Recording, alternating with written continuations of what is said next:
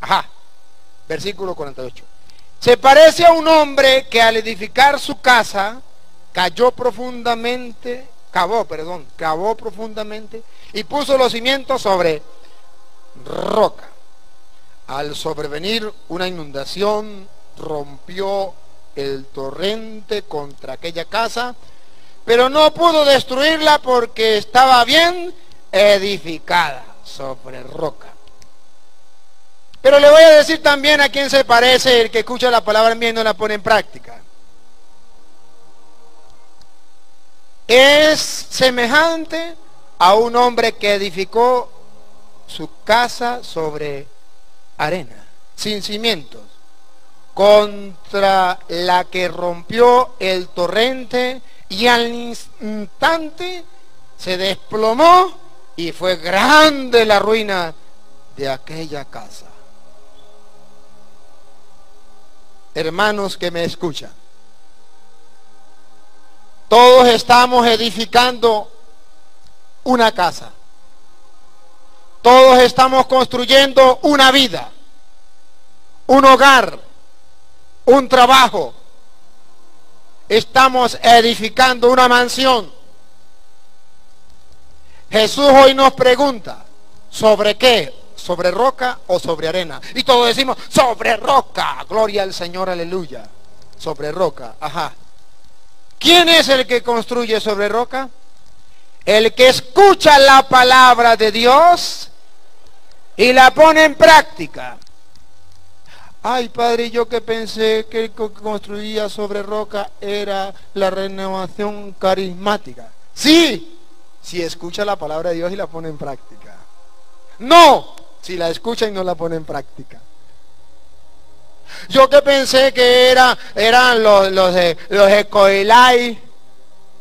Sí, si le escucha la palabra de Dios y la pone, no. Si la escucha y no la pone, en práctica. Pregunto, ¿ustedes quieren construir sobre roca? ¿Qué tienen que hacer?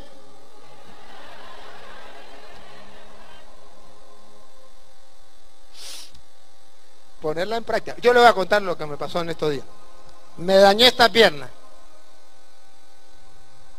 No podía caminar fui a uno de los mejores médicos. y me dice el médico, mire padre, la cosa está brava. Me habían dicho que era el mejor médico, yo iba con mucha fe. Yo llevaba una fe grande. Me dice el médico, mire, padre, a usted le duele cuando hace el pie así, ¿verdad? Yo le dije, sí. A usted le duele cuando sube la escalera así. A usted le duele más todavía cuando baja la escalera. Y sí, yo, yo emocionado, este hombre sí sabe, papá. Este hombre sí sabe. Y me decía el hombre, no, caramba. Bueno, todo lo que el hombre me decía, yo le, sí, y sorprendí. Yo le dije al que andaba conmigo, le dije, ese sí sabe. Este es el médico que yo necesitaba. Y me dijo el médico, bueno, padre, ya, listo. Este, usted no necesita mucha medicina. Usted lo que necesita es hacer unas terapias. Yo le dije, ah, bueno, está bien, está bien, unas terapias. Ah, listo, está bien, sí. Y bueno, esta medicinita. Y le dije, ah, bueno, está bien, listo. Me fui, me mandaron para Jerusalén. Me tengo que ir para Jerusalén. ¿Qué cuento de terapias ni qué nada? Me fui para Jerusalén, estuve por allá y regresé de Jerusalén y llegué y todavía malo qué médico más malo. Y yo que pensaba que era un médico bueno. Y yo que me había ilusionado diciendo que era el mejor médico, pues ni modo, no fui más para él. Me fui para otro médico mejor. Y le dije a otro médico, mire, me pasa esto, ta, ta, ta, ta, ta. Me dijo, bueno, padre, le mando para que vaya a los cubanos y ahí es una terapia muy buena. Y entonces esta terapia, hace la terapia, padre, listo. Y si no, le van a rajar la pata. ¿Qué digo? Eh, eh, perdón, perdón, perdón, perdón, perdón. La pierna, la pierna. Entonces yo le dije, ay, no, no, eso sí, operarme, no. Digo, bueno, padre, entonces estas son las terapias. Pero el hombre quizás conocía, quizás conocía a los sacerdotes, ¿no? Porque me dijo, bueno, padre, Y como yo sé que usted no va a cumplir porque usted no va a tener tiempo para ir a los, a los cubanos a hacerse la terapia, yo le voy a dar unas terapias para que la haga usted en su cuarto. Yo le digo, uy, me parece calidad. Me dijo, haga esta, haga esta, haga esta. Listo. Pero yo me agarró, imagínese usted, todo el trabajo de las vacaciones que yo estaba era predicando para allí para acá, no me dio chance. ¿Qué médico más malo? No me curé. Malísimo el muérgano. Pero después ya cuando terminé las vacaciones, me dice una hermana, padre, ¿y usted todavía sigue malo de la pierna? Sí. Y, padre, yo tengo una bicicleta de esa estática para que usted le dé y eso le me acordé lo que dijo el médico. El médico me dijo que eso era lo que me había mandado, que me buscaron la bicicleta y que lo hiciera. Yo dije, uy, ¿y usted me la puede prestar? Dijo, sí. Dijo, qué bueno, préstemela. Me la prestó, me la traje para ahí y comencé a hacer las terapias. Y mire, malos los médicos, muy malos, no me sanaron. Ah, no eran malos los médicos. Yo creía que los médicos eran muy buenos y me convencían, pero nunca puse en práctica lo que ellos me decían. Y entonces le echaba la culpa al médico, él no sabe para nada, me voy para otro. El día en que puse en práctica lo que el médico me dijo, bendito sea Dios, mil veces mejor. Ella, hermanos, ustedes y yo decimos que creemos en Dios, ¿sí? Y Dios nos ha dicho lo que tenemos que hacer, sí. ¿Y por qué nosotros vemos que no hay crecimiento? Porque vemos que no podemos salir de un pecado. Porque vemos que estamos esclavizados. Porque no somos felices. Porque andamos con el 3, con el 4 y con el 5. Por un solo motivo. Porque no creemos a la palabra de Dios. Sabemos lo que tenemos que hacer, pero nos hacemos los de Mérida. Nos hacemos los locos.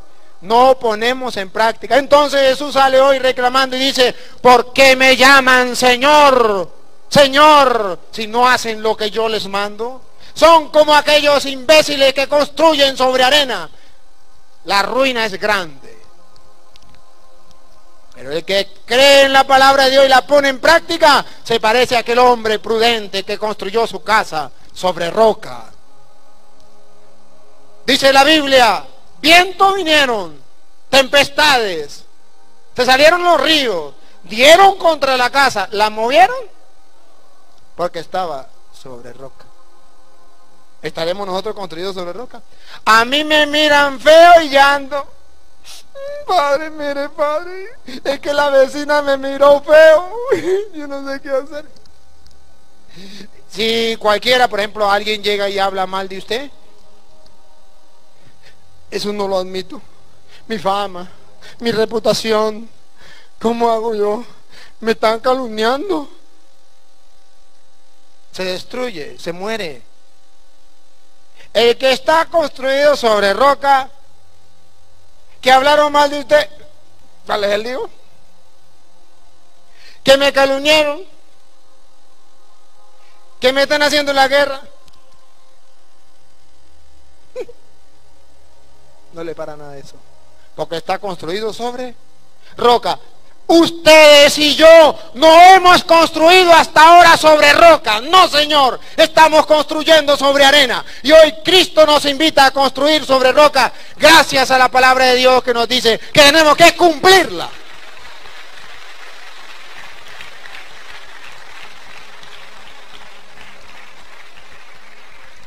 La fe que salva es la que cree en la palabra de Dios. Le obedece. Nunca he encontrado yo un evangelio tan duro, tan duro que me haya estremecido y me haya golpeado el corazón así. ¡Pum! ¡Pum! Como el que les voy a leer. Mateo capítulo 21, versículo 28. Una guara. Pero el 28 es, un, es el comiencito. El que me golpeó duro, duro, es como en el 32 versículo. Del 28 Comienza la historia y en el 32. Dios mío santo. Mateo, ¿qué le di? 21 del 28 en adelante. Ustedes me van a perdonar. Le, voy a leer primero, le voy a leer primero el versículo, lo que, lo que me golpeó y después le leo el, 28. Eh. Se lo voy a decir a ustedes. El, el 31, el 31 es el que me golpeó. Se lo voy a leer a ustedes. Se lo voy a decir a ustedes como, como cuando yo lo leí por primera vez y lo agarré para mí. A ver si a ustedes también los estremece.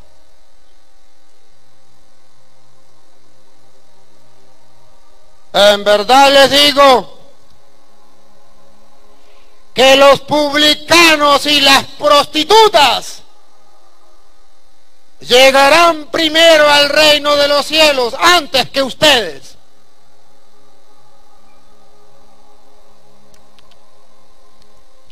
Que nosotros los legionarios, sí,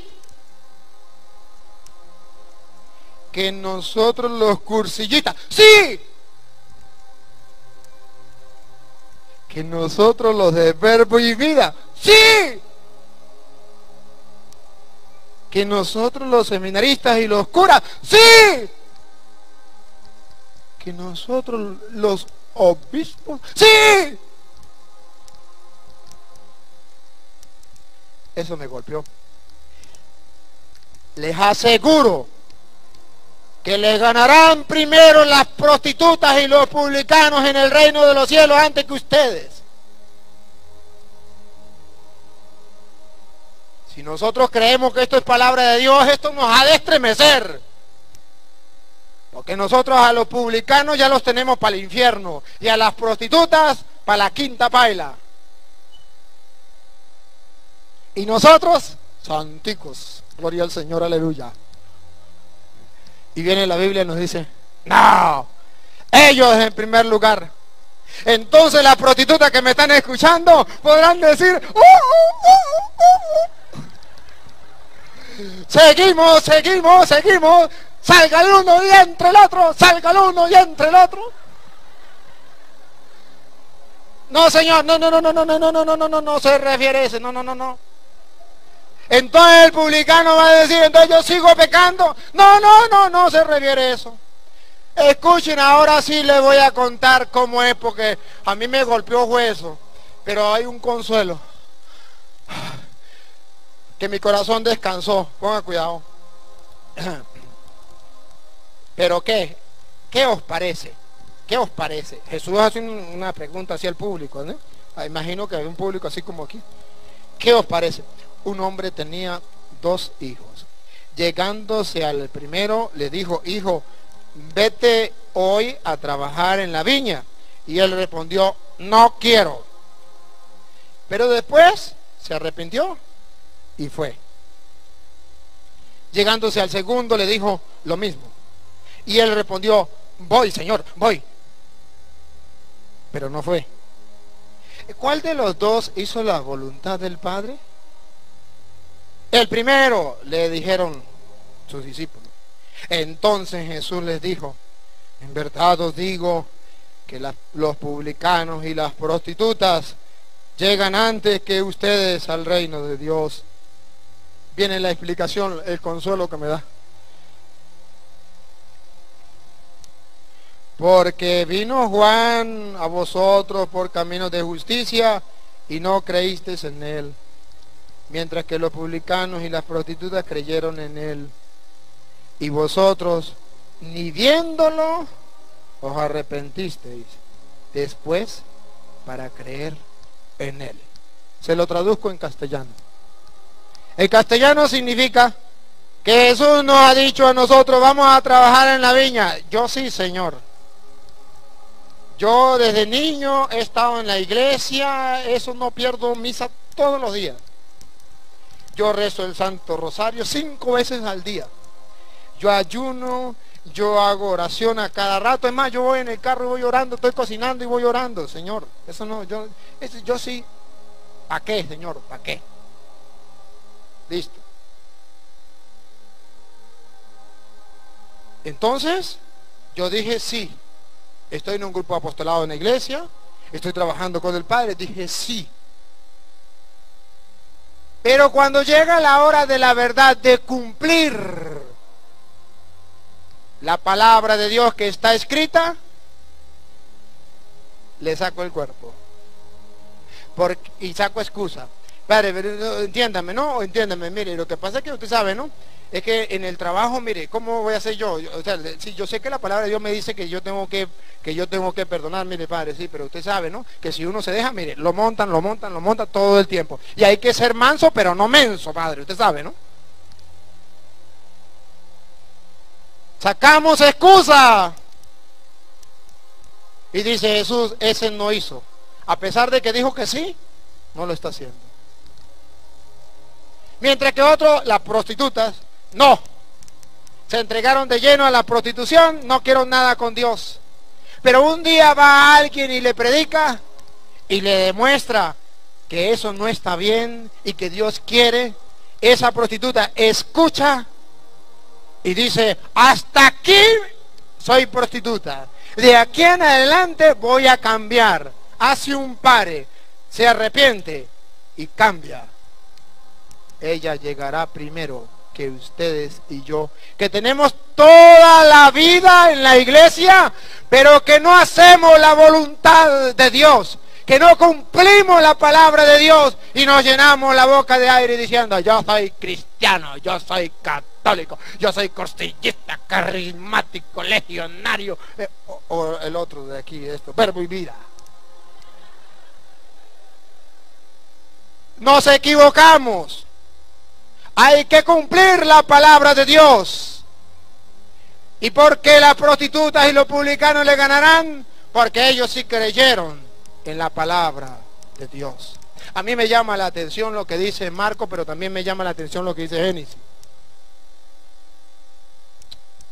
Mire, me llama la atención del Génesis capítulo 18, versículo. El versículo está por ahí entre, como en el 5 o el 6, por ahí. ¿Ustedes acuerdan que se presenta Dios a Abraham y comienza a hablar con Abraham y tal? Y le dice, miren, y su esposa, eh, yo vuelvo entre un año, y cuando yo vuelva entre un año, su esposa estará preñada. O ya para ir a un hijo, no me acuerdo cómo fue la cosa. Sara estaba atrás de la cortina, entro. Adivinen qué hizo Sara cuando escuchó.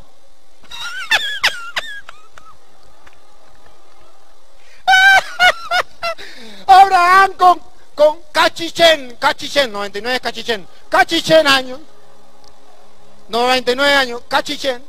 ¡Ah! Y ese me va a preñar a mí. además, además, además, está bien que fuera muchacho, ¿no? Pero, y además, ella ya no tenía eso, eso, ¿no? Eh, lo que te conté, lo que te conté, que le llegaran a la mujer, lo que te conté. Ya no, ya no, ya no tenía. Entonces, ¿cómo voy a quedar yo preñada? Esa risa significa que no creyó en la palabra, porque estaba era escuchando la palabra. No creyó en la palabra de Dios. No creyó. Ah, pero entonces cuando sigue hablando Dios con Abraham y le dice, Dios está de espalda y no, no nadie sabe, ¿no? Nadie sabe porque es algo, porque es algo interno, solamente Dios y, y está, y Sara. Solamente ella se rió escondida, nadie, nadie se dio cuenta, nadie, mm, nadie. El otro no, el Señor de los señores no se da cuenta. Y le dice Dios a orar, epa, ¿y por qué Sara se ríe? ¡Uh! Le llegó el agua al cuello a la pobre Sara. Y dijo Sara, ay Diosito Santo. Y yo que pensé que era yo solita la que sabía que yo me estaba riendo. Y Dios, Sara entró en sí, reflexionó, se dio cuenta que Dios la estaba escuchando, que Dios la estaba viendo, a pesar de que él, ella no lo veía a él. Y dijo, no, señor, yo no me he reído. Dijo, señor, sí, sí te, sí te reíste. No, señor, no me reí. Sara se arrepintió. ¿Y sabe qué? Creyó. Ahora sí, después del susto que se llevó, creyó. Y porque creyó en la palabra de Dios, al año parió al hijo. Porque creyó. ¿Qué hizo Sara? En un momento no quiso creer. En otro momento creyó. Esto es lo que se llama convertirse. Conversión. Y si no creen que esto es conversión, lean lo que dice Marcos capítulo 1, versículo 15. Vean que es conversión. A veces nosotros pensamos que conversión es que yo dejé el miche y ya, me convertí.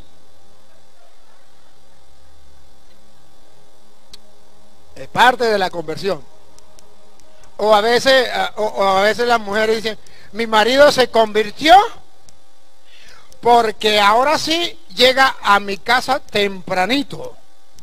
Se convirtió. Lo que ella no sabe es que él llega tempranito porque lo están buscando para matarlo. ¿Qué cuento de conversión ni que nada?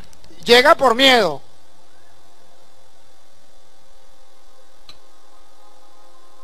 Marcos dice, eh, la de Marcos se me olvida cómo es, pero, pero Jesús dice, Jesús dice algo así, eh, el reino de Dios ya está cerca, el tiempo, ah, ya me, ya me acordé, el tiempo se ha cumplido. En castellano, cuando se le cumple el tiempo a, los cochinitos gordos que usted tiene ahí? Cuando ya están gorditos para el matadero. El tiempo se ha cumplido. En castellano, ya están gorditos, mis hijitos. Ajá, el tiempo se ha cumplido. El reino de Dios ya está. Es decir, la pelona, mire, pero la muerte no es una desgracia. El reino de Dios viene con la muerte. Conviértanse Ajá, ¿y qué dice Marco? Terminen a ver qué dice Marco más. Crean en el Evangelio. Eso lo dice Marcos 1.15. Conviértanse. ¿Qué es convertirse? En castellano significa que hasta ahora ustedes y yo no nos hemos convertido. Porque el Evangelio de Cristo está por estrenarse. Y a ver si comenzamos a estrenarlo, a creer en la palabra de Dios para tener vida. Y vida en abundancia. Esa es la fe que salva al que cree en la palabra de Dios. Entonces se convierte. ¿Y qué es la conversión? Que antes, como Sara, yo me reía de la palabra de Dios. Que perdonara a ese vagabundo que me mató a mi madre, ni aunque me esté muriendo palabrita de Juaninario, ese no se ha convertido. No ha creído en el Evangelio que dice, perdona. Por ejemplo, aquella mujer o aquel hombre que vive en adulterio, ustedes no, los que no vinieron. Lee el Evangelio de Mateo, por ejemplo, Mateo 5, 27, que dice, no cometerás adulterio. Y aunque ames a un hombre o a una mujer como a tu ojo derecho, pero te es ocasión de pecado, sácatelo, tíralo lejos. Más vale que entre solo al cielo y no con él al infierno. Entonces dice, y yo que amaba a ese hombre como si lo hubiese parido, y tengo que dejarlo. ¡Ay, Dios mío! Conviértate. Has vivido tanto tiempo a espalda de la palabra de Dios que dice no cometas adulterio. Has sacado mil excusas. No has creído en el Evangelio. Hoy la fe que salva es aquel que cumple la palabra de Dios. Y esa es la que ustedes y yo deberíamos buscar. A mí me encanta, me emociona Hebreos capítulo 3, versículo 7. Hebreos capítulo 3, versículo 7 dice así. Ah, más o menos, ¿no? Porque no me lo voy a grabar así de a caletre, ¿no? Pero ahí más o menos. Así les habla el Espíritu Santo. Así comienza. Así dice Hebreos 3, 7. Escuchen lo que dice el Espíritu Santo, dice Hebreos. Si hoy escucha la voz del Señor, no le cierres el corazón. ¿Qué dice el Espíritu Santo?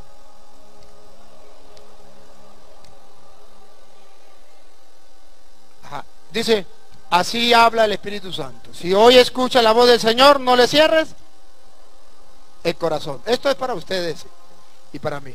Hoy estamos escuchando la palabra de Dios y nos va a estremecer porque hasta ahora estoy dando el, el, apelativo, el abreboca. Y no me digan que tiene hambre porque tú tenías 40 días y 40 noches sin comer. Y dijo, no solo de pan vive el hombre, sino de toda palabra que sale de la boca de Dios. Y el que quiera comenzar a convertirse, crea esto.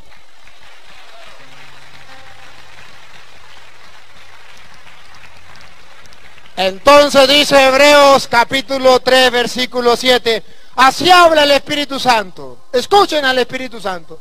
Si hoy escucha la voz del Señor, no le cierres el corazón, como sucedió allá en Meribá, cuando vuestros padres me pusieron a prueba y dudaron de mí, díganlo, el pedacito que viene, aunque habían dudaron de mí, aunque habían, se lo traduzco en castellano, que los milagros que vieron no les sirvió de nada que la fe milagrera, que la fe que cura, no sirve para la salvación si usted no cree en la palabra. Nuestros padres que estuvieron en el desierto vieron el maná, comieron maná en el desierto y no murieron. Cuando le dio ganas de comer carne, dijeron, Señor, queremos carne. Y mandó unas codornices y tragaron carne hasta que los dientes casi se le caen y todavía no creyeron. Porque la fe verdadera no es la fe de milagros. Porque la fe verdadera es la que cree en la palabra del Señor. Y la pone en práctica, cueste lo que cueste.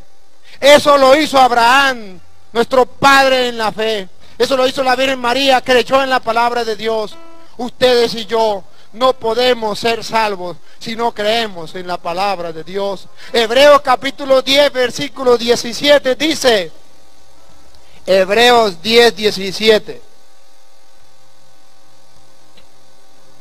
La fe viene de la predicación y lo que se predica es la palabra de Dios. De ahí viene.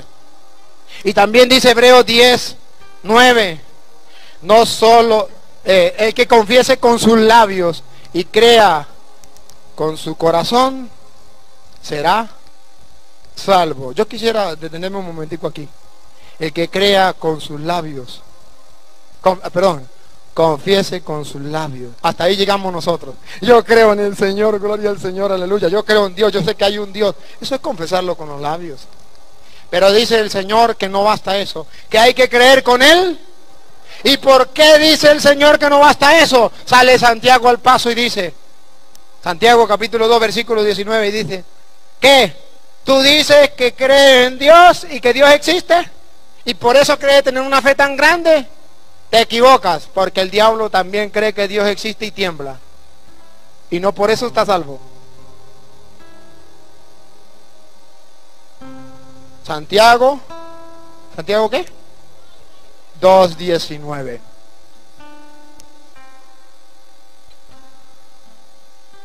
Creer con los labios, no, proclamar con los labios y creer con él. Creer con él. Epa, ¿a ustedes no le parece algo extraño? ¿Por qué no dijo confesar con los labios y creer con la mente? con la mente, que yo ponga la mente así y me ponga a trabajar la mente y si creo, Señor, sí, sí, sí, sí, sí, yo Y es un trabajo mental y termino cansado de ese trabajo. ¡Uh! Trabajo mental. No, no, no se trata de creer con la mente.